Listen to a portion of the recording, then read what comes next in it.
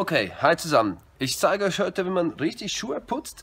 Dazu habe ich mich dann nach draußen gesetzt und habe einen Karton genommen, so dass ich möglichst nichts dreckig mache. Das ist auch der Grund, weshalb dass ich Taschentücher mitgebracht habe.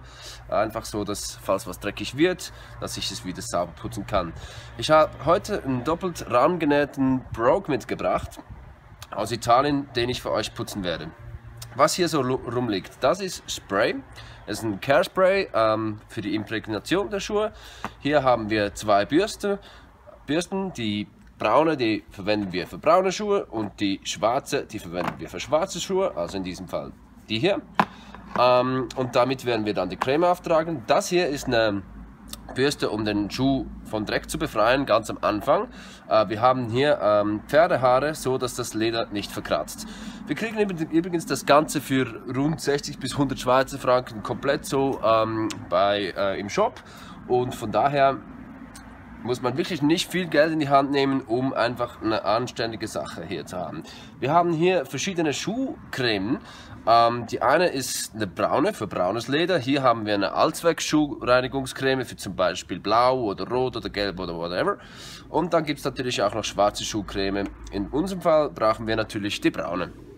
Okay. Ähm, vielleicht was zum Gesamten. Ich habe natürlich meine Hände gewaschen. Ich wasche auch meine Hände nachher wieder, einfach um sauber an die Arbeit zu gehen und sauber die Arbeit wieder zu verlassen. Was wir generell auch nie machen, auch sonst nicht, ähm, wir fassen den Schuh nie von unten an, weil da, damit waren wir überall auf der Straße, auf der Toilette und sowieso. Deshalb fassen wir einfach einen Schuh nie von unten an. Das heißt, wir, wir fassen den Schuh, wir, wir gehen mit der Hand rein und so halten wir den Schuh und nicht anders. Ja? Der hat jetzt ein bisschen gelitten, ehrlich gesagt, weil es in letzter Zeit einfach matschig und nass war. Also machen wir das folgendermaßen. Wir entfernen vielleicht den hier ein bisschen. Hier eine saubere Sache und bürsten diesen Schuh wirklich schön, damit hier einfach eine saubere Basis entsteht. Und ihr seht, der fängt schon richtig an zu glänzen. Ähm, wir können richtig schön bürsten, damit der Schuh auch richtig sauber wird und ihn somit von allen von allem Dreck befreien. Und wie man sieht, das ist schon ein Wahnsinnsunterschied. Ähm, er glänzt schon richtig schön. Das macht einfach Spaß. Äh, ist auch ein richtig schöner Schuh, den wir hier auch richtig schön putzen werden. Okay, so.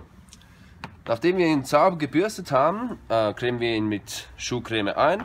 Ich verwende dazu ähm, die braune Schuhcreme, weil es ja ein brauner Schuh ist. Sieht schon richtig toll aus hier. Netze so ein bisschen meine Bürste damit an, ganz wenig und fange an damit den Schuh einzucremen. Ne?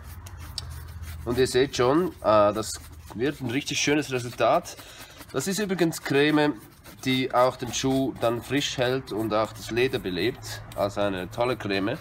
Wie gesagt, die kriegt ihr zu einem wahnsinnig guten Preis-Leistungs-Verhältnis. Ihr müsst da nicht unbedingt unfassbar teuer kaufen, sondern da kommt ihr mit so einem Produkt wirklich gut weiter.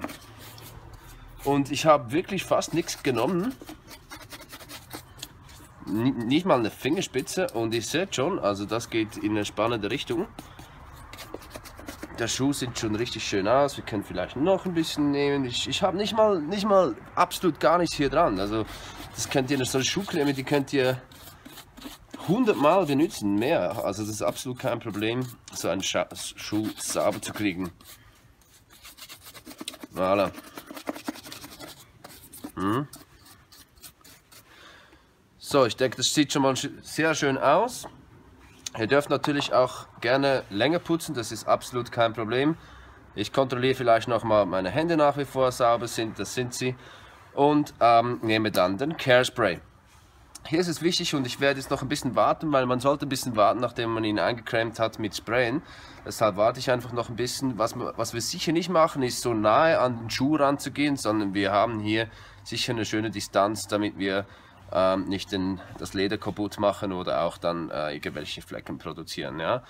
Was ich eigentlich machen kann, ist das ein bisschen schütteln und dann von der Distanz aus ein bisschen den Schuh imprägnieren, so dass er dann richtig schön glänzt und wasserfest ist. So, voilà. Ich habe heute euch gezeigt, wie man Schuhe putzt. eigentlich eine sehr simple Sache, was wir sicher in Zukunft erleben werden. Wir werden ein bisschen was über verschiedene Schuhtypen, worauf zu achten ist, erzählen.